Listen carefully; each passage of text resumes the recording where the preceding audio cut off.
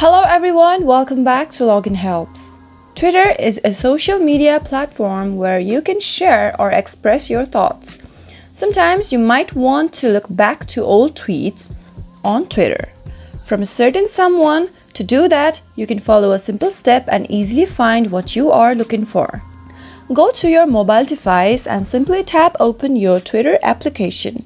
Log into your account if you have logged out of it. And now Tap on the Search tab in the lower section of the page.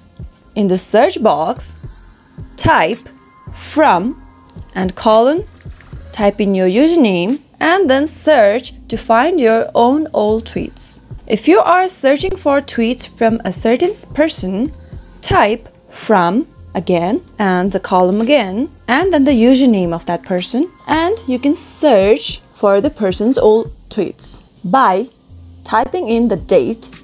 To do so, type since after space. To search for tweets by date range, type since after the username and the colon sign and enter your date in the year, month, and date format.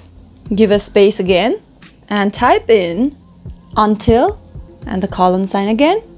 Again, type in the year, month, and date and search. Now you'll see the search results of the old tweets you were looking for from the certain person from the chosen dates to the latest date you chose. That is how you can search for old tweets with Twitter Advanced. Thank you so much for watching the video till the end. If you are watching us for the first time, don't forget to subscribe to our channel. Press the bell icon for instant notification as soon as we post a new video. I'll be back with more tutorials. Goodbye till then.